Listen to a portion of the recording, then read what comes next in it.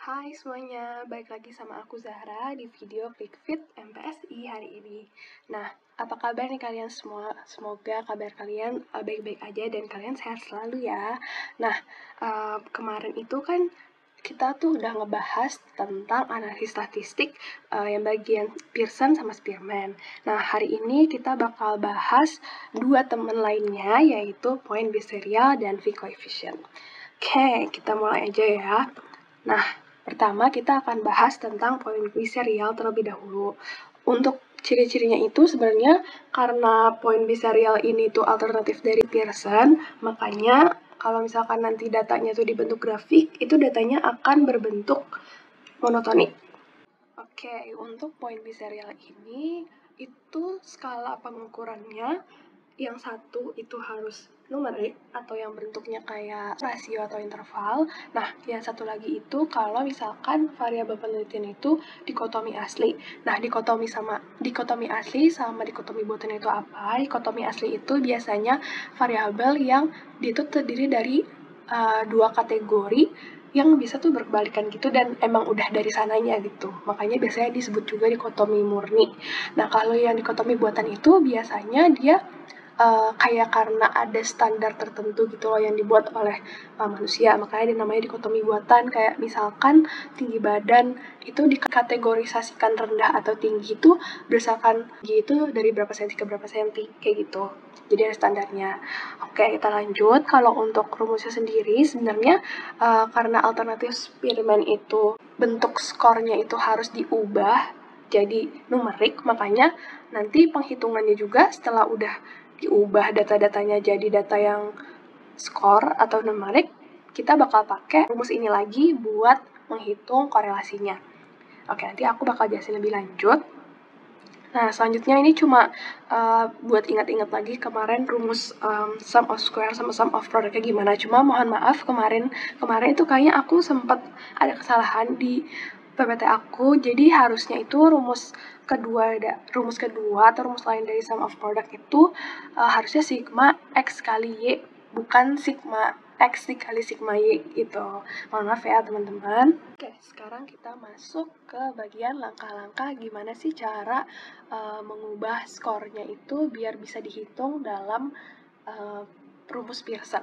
Nah, pertama uh, itu kita harus mengganti variabel dikotomi yang tadi, dikotomi asli tadi dengan skor 0 untuk suatu variabel dan skor 1 untuk variabel lainnya. Jadi kayak decoding gitu loh, diganti aja. Biar lebih mudah kita bacanya.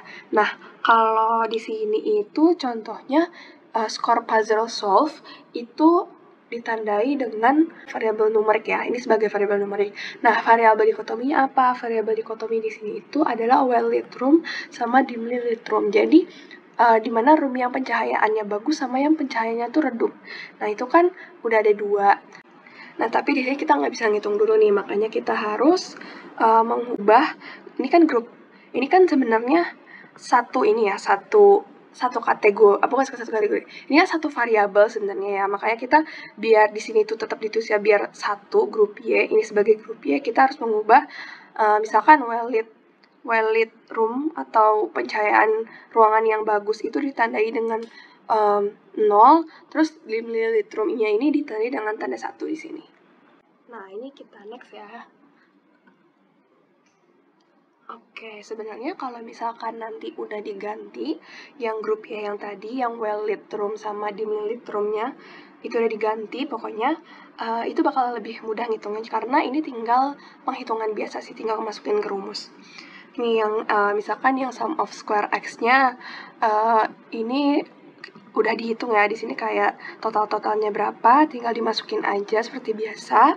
Terus yang sum of square y-nya ini sigma y kuadrat dikurang uh, sigma y kali sigma y per n. Di sini kan uh, sigma y kuadratnya itu adalah 8. Nah, tinggal masukin aja 8, terus sigma y-nya itu 8 juga ya karena ya cuma 0 sama 1 dan kalau dikuadratin jadi y kuadrat juga hasilnya sama kan jadi 8 makanya ini kali 8 lagi terus per total partisipannya itu ada 16 nah hasilnya 4 oh yang tadi yang SSX itu totalnya 190 habis ini kita tinggal masukin aja ke rumus sum of product ya seperti yang bisa kalian lihat di sini ya. Okay. Nah, sekarang kita tinggal cari deh R-nya menggunakan kalasi Pearson yang udah tadi uh, aku bilang uh, di awal-awal. Jadi tadi kan sum of produknya itu 16, terus sum of square x-nya itu 190, dan sum of square y-nya itu 4, 4 ya. Nah, ini tinggal 16 dibagi akar 190 dikali 4 hasilnya itu kira-kira R-nya 0,58. Jadi ketemu gitu. Nah, untuk tes signifikansinya sendiri nanti, kalau misalkan ada soal, sebenarnya sama aja sih, tinggal uh, kalian cocokin aja sama uh, penjelasan aku yang kemarin tentang Pearson sama Spearman. Oke, ini kita lanjut ya. Nah, di sini nih ternyata kayak ah, ada pertanyaan lagi nih kayak ada apa ya dengan R kuadrat alias coefficient of determination sama, sama t-test jadi ternyata kalau R kuadrat sama T kuadrat ini tuh kayak ada hubungannya gitu loh.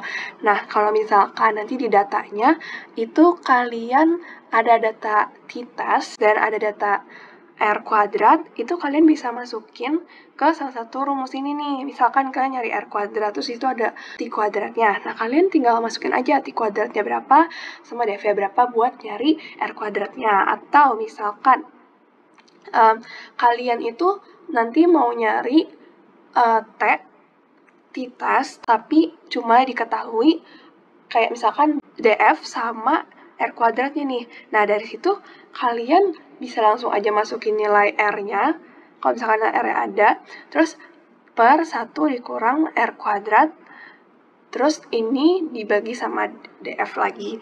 Nah, nanti itu kan masih T kuadrat. Kalau misalkan mau nyari T-nya berarti tinggal diakarin aja. Jadi T sama dengan akar R kuadrat per 1 min R dibagi DF.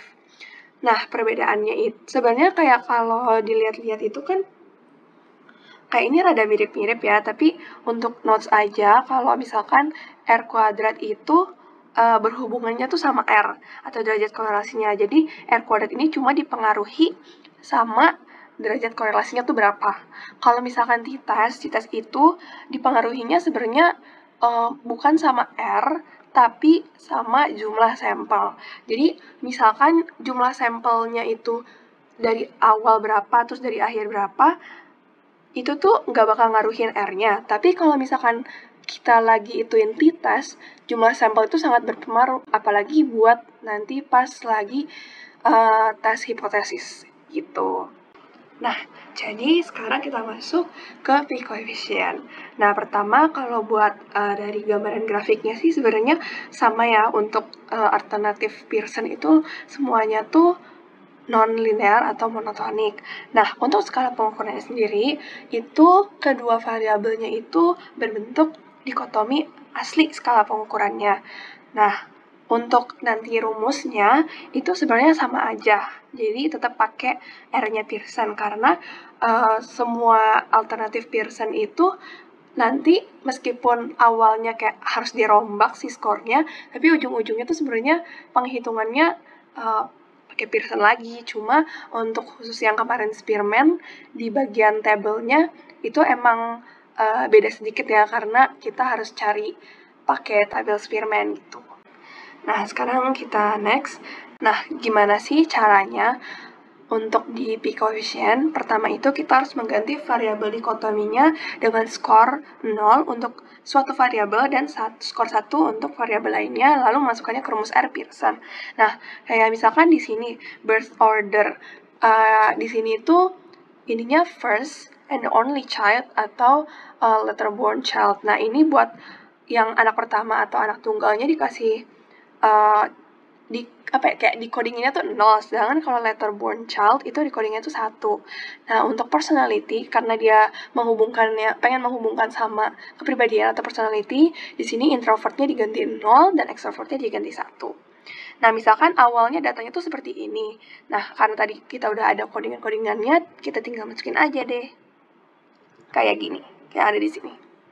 Oke sebenarnya itu udah selesai sih. Maksudnya uh, sisanya nanti setelah udah di convert uh, skornya itu bisa langsung pakai rumus R biasa aja gitu. Nah cuma uh, sepemahaman aku P coefficient ini uh, jarang gitu dipakainya. Dan kayak kalau di kuis pun atau di UTS mungkin nanti yang ditanya itu kayak lebih ke si skala pengukurannya gitu dibandingkan uh, penghitungannya. Nah, abis itu juga biasanya dibandingkan V coefficient, biasanya itu uh, orang-orang lebih pakai yang namanya chi square. Nah, nanti kita belajar tapi nggak sekarang gitu. Oke, kita masuk aja ke contohnya ya, biar mungkin kayak lebih ngerti gitu.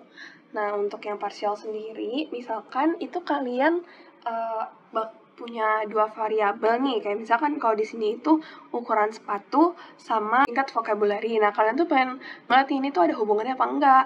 Tapi kalian mikir, uh, kayaknya uh, ukuran sepatu sama tingkat vocabulary ini um, masih dipengaruhi sama third variable deh. Nah, di sini contohnya third variable itu usia.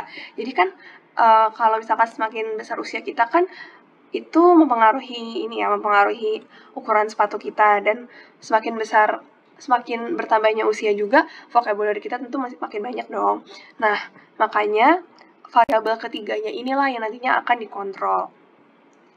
Itu untuk partial. Nah, kalau part ingat aja ya ini kan tadi partial ini part jadi ialnya tuh nggak ada jadi kalau misalkan ini cuma part doang itu berarti ada yang hilang nih satu nah jadi maksud aku hilang tuh apa di sini misalkan ada uh, variabel yang pengen kalian variabel yang pengen kalian hubungin di situ contohnya vocabulary sama tingkat uh, ukuran sepatu ini sorry ya fotonya kayak gini nah di sini kalian juga mikir nih, kayaknya ada third variabelnya deh, tapi third variabelnya ini cuma mengaruhin satu variabel doang. Kalau di sini contohnya frekuensi membaca buku yang bakal mengaruhin uh, banyaknya vocabulary gitu.